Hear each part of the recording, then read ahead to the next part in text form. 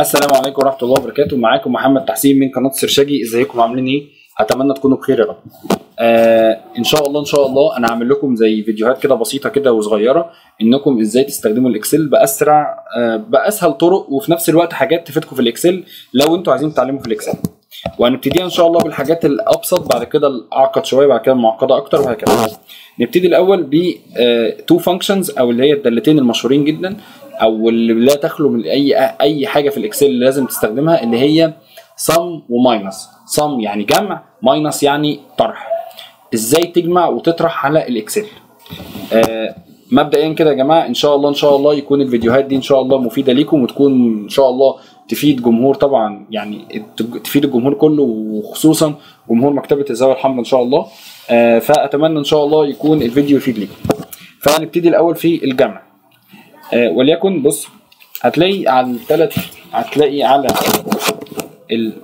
الخانات دي ده ده اللون الأصفر ده هيبقى المكان اللي هيتجمع فيه. المكان اللي هيتجمع فيه تمام؟ فهنيجي نقف عند اللون الأصفر ده وليكن إحنا عايزين نجمع الثلاث خانات دولت الثلاث خانات دولت تمام؟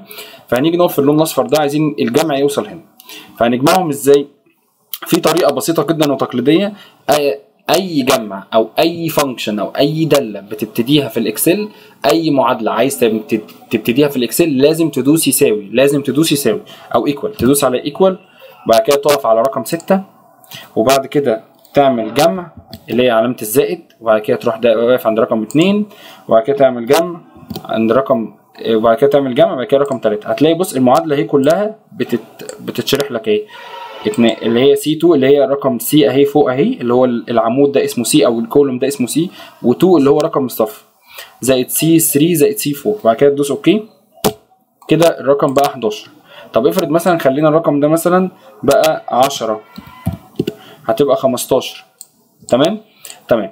نيجي مثلا طب دي حاجة بسيطة ده جمع بسيط. طب أنا لو عايز أجمع معادلات كتيرة معادلة مثلا كتيرة هتتعمل إزاي؟ بصوا بقى.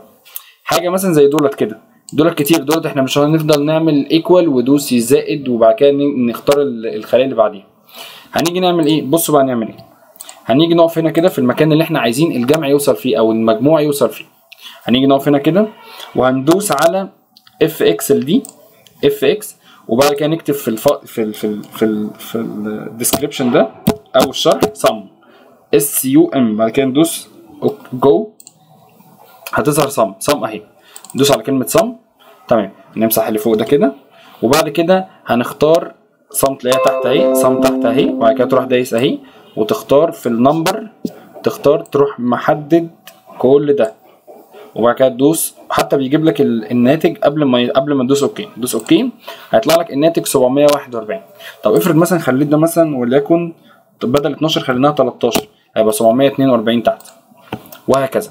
تمام؟ ولو عايزين حاجة سريعة تعرف اذا إيه إيه الجمع وإيه الطرح لو جينا ظللنا على ده كله هيظهر لك الجمع تحت أهو اسمه صم آه 242 وهو فعلا 242 نيجي بقى عند الماينس عايزين نطرح. تمام؟ لما نيجي نطرح هنطرح إزاي؟ بصوا بقى.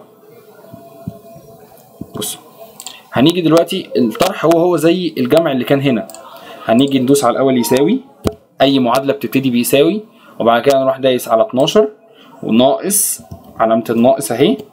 تمام؟ وبعد كده نروح دايسين على 10 وبعد كده ندوس OK enter هيطلع لنا رقم 2 طب افرض مثلا دي لو كانت 20 بدل 12 خليناها 20 هيبقى 10 وهكذا. فأتمنى أكون فدتكم إن شاء الله وأتمنى يكون ده فيديو خفيف كده وظريف وسريع. فإن شاء الله إن شاء الله أكون فدتكم وإن شاء الله يعني لو في أي حاجة تانية اكتبوها لي في الكومنتات وما تنسوش يا جماعة تعملوا like واشتراك في القناة اللي هي قناة السرشجي السرشجي شكرا جدا ليكم وكان معكم محمد تحسين من قناة السرشجي والسلام عليكم ورحمة الله وبركاته.